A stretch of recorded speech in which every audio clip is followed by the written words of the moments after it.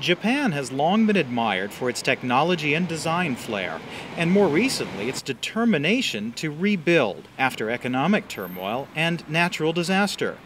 With most businesses here now eyeing overseas markets, especially in Asia, Hong Kong is a perfect partner.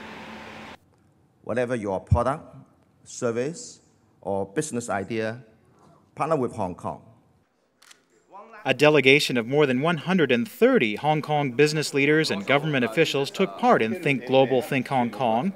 The week long promotional campaign drew more than 3,000 people from Japan's business, government, and academic circles. For Japanese SMEs aspiring to go global, Hong Kong should be their partner and international market gateway. We will highlight areas where our city's unique strength can assist Japanese firms in spreading the wings and reaching out to the markets in mainland China, across Asia, and all over the world. Business matching sessions got the ball rolling for about 250 Japanese companies, including many affected by the nation's recent earthquake and tsunami.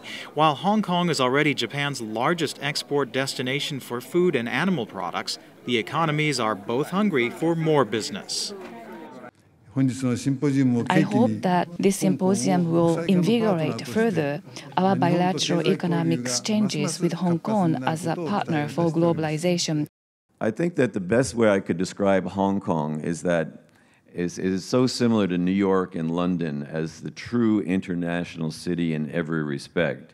The clean and non-corrupt environment, the ease of doing business, the strong governance systems and requirements makes us feel very familiar and very comfortable in Hong Kong. Those advantages, particularly for reaching the Chinese mainland, are already being explored by companies from Japan.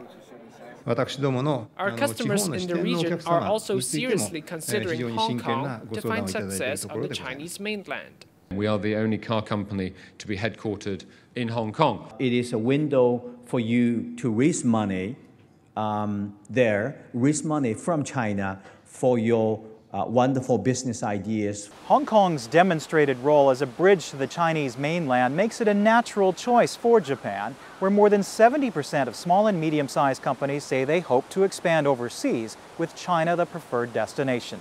Just how to get there was the subject of a series of Think Global, Think Hong Kong thematic sessions held here in Tokyo and in Osaka. So if you have two questions, is it too late for me to go into the China market? How can I get consumers to buy my brand instead of theirs and your competitors, then you're talking to the right person. Hong Kong is not part of China, but when it comes to legal system, we are totally different.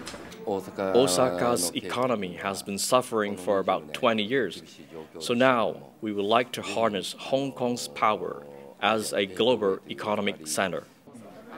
Experts from Hong Kong were also offering free advice at the event, organized by the Hong Kong Trade Development Council with support from 14 Hong Kong partners and more than 100 Japanese organizations. Some of them are uh, medium sized and also small businesses, but they are thinking of expanding to Hong Kong and ask about the details of setting up a Hong Kong company.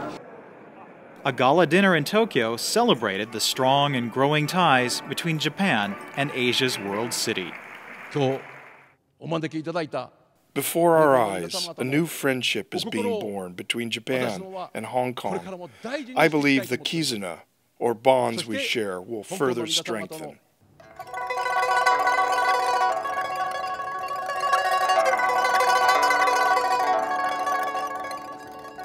And rounding out the evening, cultural performances reflecting business bonds taking shape for a brighter future.